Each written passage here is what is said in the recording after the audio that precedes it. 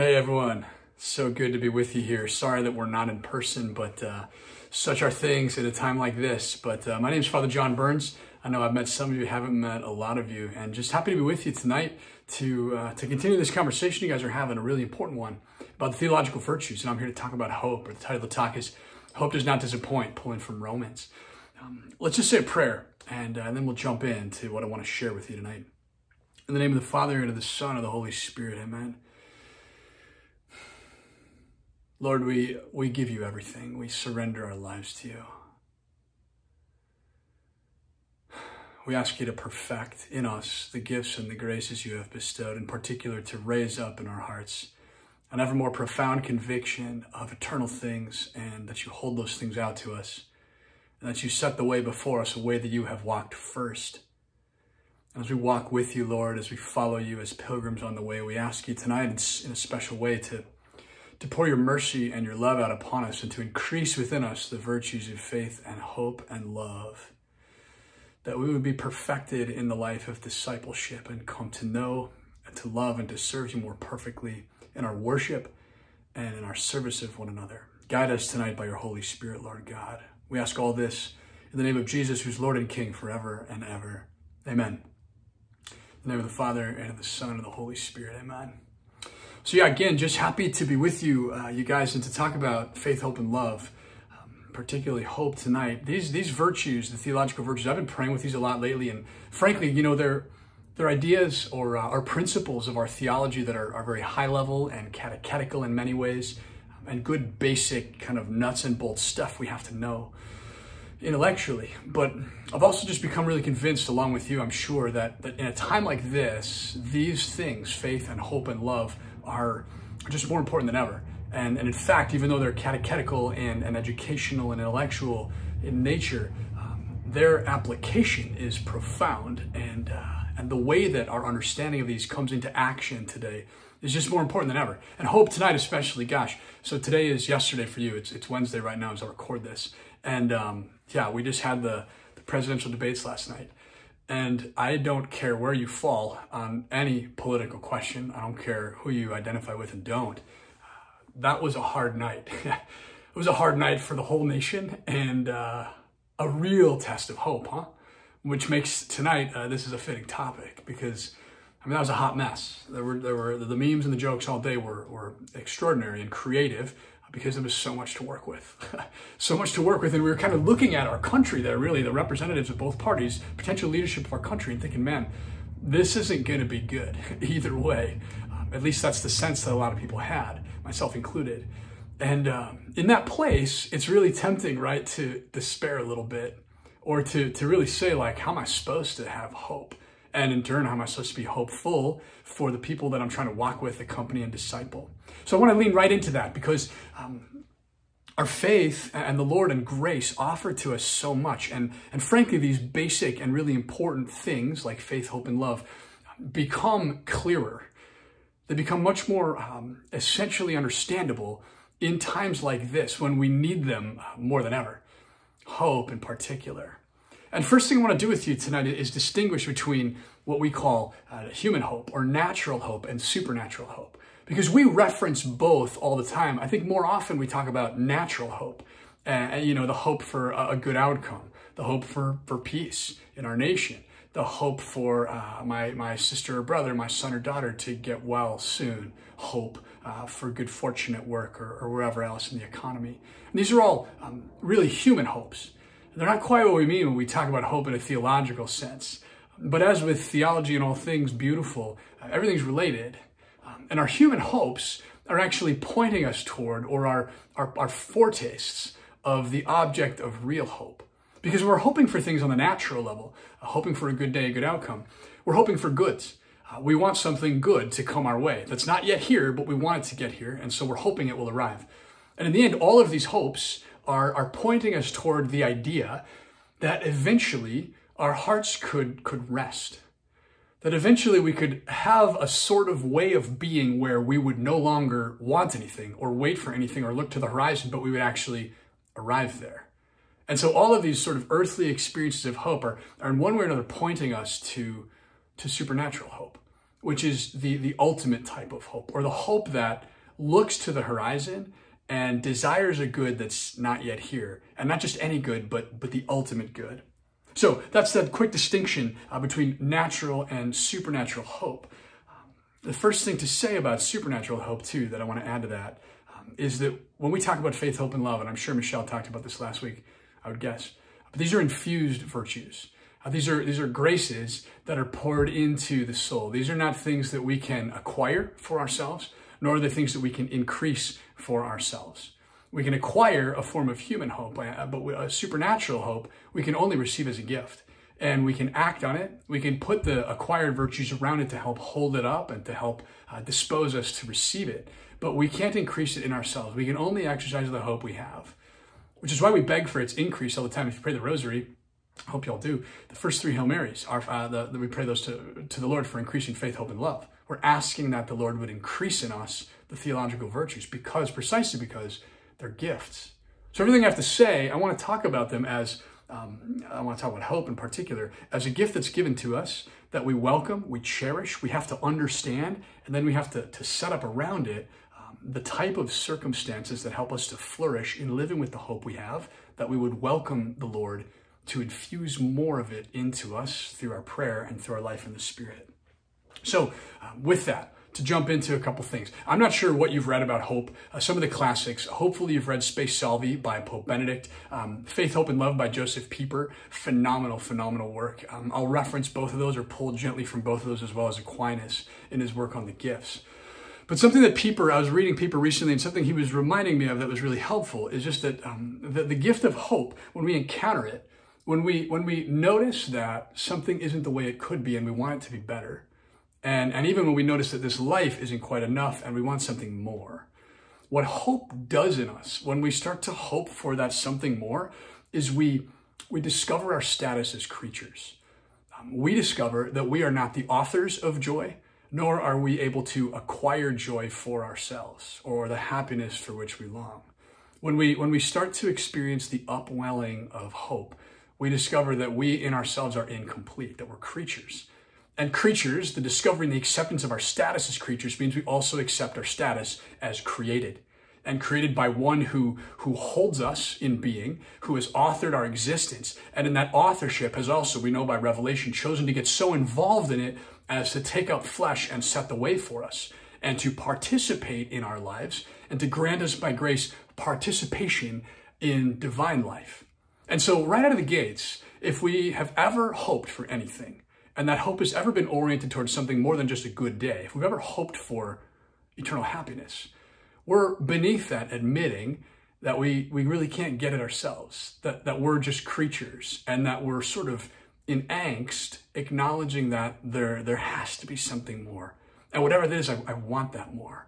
And so the experience of hope, every one of them, natural hopes, but especially those that point us toward the horizon, eternal horizon, um, imbue within us an awareness of our created state and, uh, and in the created state, there's an innate longing in us for something more, for the, the creator, uh, for the author of the more, and for the one who extends to us the offering of the abundant life, bestowing upon us by, by gift and by grace the more for which our hearts long here on earth, but ultimately uh, the more that is, is, is the perfect satisfaction of the human heart, a rest uh, achieved in heaven. So, discovery of ourselves as creatures, the innateness of our longing for the Creator, and in that, the humbling awareness that we can't quite do this ourselves. And right there, that has to be for us the consolation in the midst of the experience that we have, whether it be watching the debate, looking at our culture, looking at our families, looking at those we love who just don't believe or who reject our belief. Wherever we start to feel the creeping darkness of despair, the acknowledgement beneath uh, even the desire to hope better or to be more hopeful, the acknowledgement is, I, I can't do this. I have to accept a gift from the one who stirs my very heart to longing for happiness and hoping for it anyways. And so beneath hope is always this, um, this beautiful invitation to surrender, uh, to surrender to the fact that I don't quite know what I want, but I know there's something out there that's more. Um, I don't quite know how to get there, nor do I know how to make myself long for it more perfectly or to hope for it better, as we would say. Um, and in that is a very humbling admission that I need help, that I in myself am incomplete. I am just a creature, but I'm in this beautiful relationship with the Creator. And the Creator is always trying to grant me gifts so that this object of my longing might actually be acquired. So, with that, I point there uh, indistinctly, but, but to the relationship between faith and hope. And that's why uh, I'm glad Michelle spoke first on faith. We can't quite get into talking about hope without faith. And if you read Spe Salvi by Pope Benedict, um, he equates the two in a certain way. It's very beautiful, almost confusing at first, but he really says uh, faith and hope are kind of the same things. Not the same exactly, but they're so closely related that we can kind of speak of them in, in the same terms. Underneath that, Aquinas gives us um, a couple things that are really important. The first, uh, the reminder that um, faith proposes to us the object for which we long. It's by faith that we believe in, in the stuff that we can't see that we know we're made for. And it's hope that helps us to cling to or, or long for um, whatever would bring us to that and ultimately the achievement of that. And so hope is kind of what propels us on the way as we strive for what faith is, is proposing to us. And I've used the language of, of the way a couple times on purpose. And it's because I want to point to this really important expression. I would imagine you've heard this too, but it's the expression, the status viator. Um, it's from Aquinas, but it's in a bunch of other uh, patristic places, um, and it's in Pieper as well if you go read uh, his essay on hope. But the status viator is, is a way of explaining the fact that, or it's a term that denotes uh, the pilgrim state of the human person. That it's the state of being on the way, or a state of being a wayfarer, uh, the state of being a journeyer. And in that, um, in that we find the, the teaching, um, really, but just the, the revelation of the fact that we're on the way. And that as we try to navigate this way, there are all these obstacles, there's this darkness, there's this interplay with light, but, but we're not there yet. We're, we're pilgrims. And as we accept our role as creatures and as incomplete in ourselves and on a journey, this is always a place of profound invitation again to surrender to know that the Lord has invited us to pursue something beyond our capacity to achieve. It's utterly delightful, but it remains outside of our reach without His help. And so along the way, we're on this pilgrimage, but we can't quite grab what we want. And right there, I just want to pause because um, I've, I've, pointed to that a couple times. This, this not quite knowing what we want, but knowing we want something. Uh, the restless heart that we hear at Augustine and, and really in our own lives all of that, uh, again, too, is a place of inviting us to surrender. That um, we live in an age where we like scientific certitude and clarity, and one and one is two, and want to see it and know it.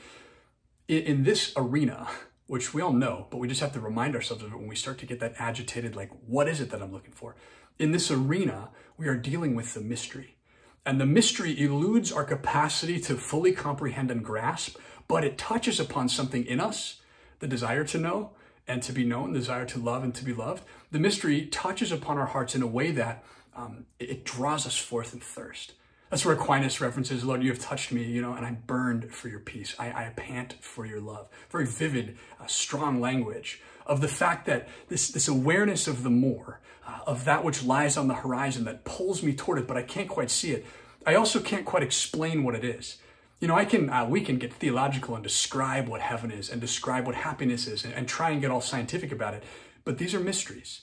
Not the type of mystery that is impossible to solve and so it frustrates us and turns us away, but the type of mystery that, that demands of us and invites us at the same moment to contemplation, to a pondering, to, to a marveling, to a being slain by beauty and also um, enlivened by it and brought back to an even fuller form of life by the touch of something beyond us that invites us into itself, which is, which is God, which is gift, which is grace. So on the status viator, uh, the pilgrim way, we know we're not there, we're pilgrims, but along the way we know there's a there that we can't see, we can't quite define, it's mysterious, but it touches something so deep within us that it haunts our dreams. And it pervades um, every living moment while we try to find meaning in life. And in that is, is just this really rich acceptance that the there is imbued in who I am. It's written into my bones that I am made for something that I can't see and can't acquire without help. And again, that's grace. Another expression, so status viator, another expression that I imagine you know or have heard is the way that Aquinas talks about the object of hope. And I love this. Bishop Barron has talked about it a couple different ways. Um, Aquinas' definition of hope, another thing he lifts from Aristotle. Um, hope is the, the um, has as an object the bonum futurum arduum possibile, The bonum futurum arduum possibile. What hope um, pursues, what, what hope uh, seeks out, is a, is a good. And as I said, with, with the natural hopes, we're longing for goods. With supernatural hope, we're longing for the ultimate good. Um, hope longs for a good, futurum. It's a bonum futurum, a good that's in the future. It's on the horizon, it's not here. Uh, arduum. It's a bonum futurum arduum, meaning it's, it's arduous. This good is not easy to achieve. It's not automatic. It doesn't come quickly. I'm going to have to work for it. I'm going to meet roadblocks. I'm going to be confused. At times, I'm going to probably despair and begin to, to lose my desire for what I was searching out. It's arduous to acquire the object of hope. Possibile. Bonum futurum arduum possibile. It's possible.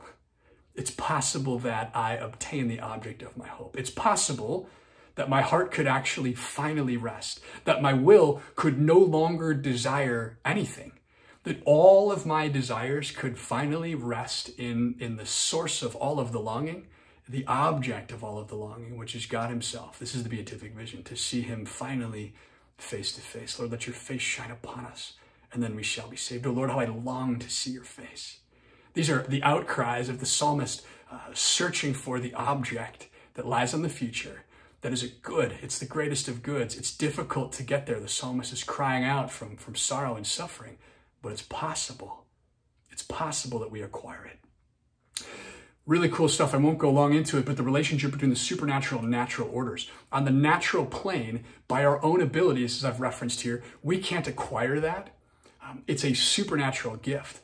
And so by the incarnation, God has come into nature and elevated or, or granted to nature an end that is beyond its ability to acquire of itself. So you and I can accomplish a lot of things in the human um, community, in the human family, on the natural plane by the, the perfection of our virtues, our capacities, our potencies. On the natural order, we can excel and we can flourish and we can experience fulfillment. But because we are, are not just natural beings, because we're crafted with a supernatural and an immortal soul woven into or, or united intrinsically to a body, um, the awareness of that something more or the there that's not yet here, that is a sign to us that the, the best of things we could acquire as on the natural plane are never going to quite be enough because there's something beyond the natural plane. There's something supernatural beyond uh, nature. And that's this ultimate end that we're talking about. That's this, this seeing God face to face. And so again, this uh, perpetually reminding you here of this invitation to surrender, um, the acknowledgement that we can do well in life and we can acquire the objects, uh, the natural objects of hope. We cannot acquire the ultimate end ourselves. It lies beyond human capacity. It's like trying to climb into heaven without a ladder even though we know heaven's there and we should be there by our own efforts, uh, we'll never be able to grab onto the stuff that would lift us there. We simply have to, to welcome it and receive it as gift rather than um, accomplish it ourselves. And, and again, that's something really basic that we know, but we all really need to check in on that a lot and make sure that we have right the relationship between the natural and the supernatural orders and our understanding of how we receive grace and cooperate with it, but what is gift and what is acquired. Because as we know, the Pelagian heresies, are, are still present in many ways. And a lot of the time, especially when we get into talking about virtues, we get confused about what we can and can't acquire on our own. And, and, and the life of holiness, as well as the, the entire life of the Pilgrim Way, we get confused about what we actually can and cannot do, what is of our within our own power's reach, and what is out of it. But what has been brought down into reach by grace, uh, the reach being accomplished only by the upwelling or the acceptance of the gift of grace. So, the bonum futurum arduum possibile is only acquired by another's help, Aquinas says. And this is, of course, the Lord. And I said before that faith precedes hope. We have to believe in order to strive for the object that's held out to us. That's kind of the basic. I could go on and on. I love this stuff. That's the basic kind of uh, high level teaching I want to give you on hope. Uh, and there's so much more to say. It's deficient to, to stop there. Uh, but I just want to just place these things that I think you already know before you in that order and then try to move into the practical. And as I was praying and sitting before the Lord uh, on this and, and, thinking about you, not that I don't know all of you, but as I was asking the Lord, like, what's on their hearts? What do they need, Lord? Um, two sort of themes rose up for making practical proposals to you about this gift uh, for acquiring something that's beyond our reach but has been put into our grasp because of what Jesus did. And these two things, these practicals that, that come along with a discussion of supernatural hope, are the life of virtue and the interior life. That, that when we want to do something more than just think about what hope is, these are the two places that, that we need to be uh, attentively at work at all times. And again, here there's so much to say. I'm going to go kind of quick, but I want to give you a couple things on both. The first, um, on the life of virtue because the, the natural or the acquired, the human, the moral virtues relate to the supernatural virtues and cooperate with them, are perfected by the supernatural virtues. The, the natural virtues, what they do is they dispose the passions to uh, obedience to reason. They dispose us in general to obey reason's dictate, to do, to do the good and, and avoid evil. So that the, the virtuous man or woman has a, an innate sense for goodness and goes after it and avoids evil. And what's so hopeful about Aquinas on all this stuff is that he talks about the emotions in the moral life and in the spiritual life. And he says it's actually the virtues that bring the emotions or the passions into cooperation with the dictates of reason. That they stand between, uh, the, the, the virtues stand between the passions and the intellect to help pull up our desires into uh, the goods that the intellect is perceiving and toward which um, toward which the mind is moving in the perception of truth. If we don't have the virtues, our emotional lives are chaotic. It is a Thomistic, a basic Thomistic teaching. With the virtues, it's still hard to be emotional. Our emotions can be really puzzling, but they are, are harnessed, as it were, and turned toward uh, the acquisition of what we see and know and understand with our minds. Um, this is so important to, to just acknowledge, sidebar, that the emotions are actually a part of the intellectual life, uh, that they're supposed to fit together, and they're actually supposed to be cooperating with us on the status viator as we as we surge toward that for which we hope. The emotions help us. A fear is meant to, to pull us away from actual evils, the passion of fear, not the vice of fear. Um, hope, the human hope, is meant to push us toward goods. Desire, meant to, to propel us toward the things we long for. Sorrow, to rightly lament an evil that is present. And to be able to emote well uh, on all of the levels of the emotions. That's a, a work of virtue. And that work helps pull the emotions out of rebellion against the intellect into cooperation with the intellect. And that's very hopeful because as we ponder the truths of, of what hope is, um, the, the virtues are actually on our side in helping us navigate what it actually means to, to live for, those things for which we long. I name that um, because the life of virtue and life in the spirit cannot actually be separated, at least not as long as we're talking about grace. Because what Aquinas adds after he talks about the life of virtue is, is the gifts. He talks about the emotions and then the virtues and then the gifts of the Holy Spirit. And if the virtue's job is to um, order our acts and even our emotions to, to right pursuit of goods, the, the work of the gifts um, is to lift us beyond what reason can perceive and to obey something that is, is surpassing reason, not contradicting reason, but something that lies beyond reason. Uh, the virtues help us to be reasonable and to understand the goods of reason and to live for them. The gifts perfect the virtues so we can obey a prompting other than reason's prompting, something beyond reason's prompting, which is the instinctus spiritus sancti, the promptings of the Holy Spirit, um, pulsating from within us uh, toward goods that are ordered to the acquisition of the ultimate good, that for which um, that which we understand by faith and that for which we long by hope. So, if we want to talk about life in the spirit and want to talk about what, what commentators have called a spontaneity, trusting our hearts, living emotionally integrated lives, living in freedom, all these things, we have to talk about the emotions and the gifts. Because the gifts, uh, infused into us by the Holy Spirit, touch the virtues and as it were, through the virtues, trickle down even into our emotions and order everything to uh, the person's cooperation with something that is beyond reason, something that emanates from the core of the mystery, something that draws us toward that for which we long, even though we don't quite get what it is and we can't even name it to one another, but we all burn for it. The gifts are, are helping to order the human potencies towards something that is beyond human potency's capacity to achieve. So I say that because to, to long for something that is the supernatural and to pursue it in the natural plane here, uh, but to do so with the gifts of the Holy Spirit, all of this has to fit together. And, and we can have all the ideas in place, but the very practical gift of Aquinas' teaching is we just need to be virtuous for all this to actually work. We have to be practicing virtue. And as we are practicing the virtues, everything starts to fall into place and it becomes easier to live the type of life we're supposed to live.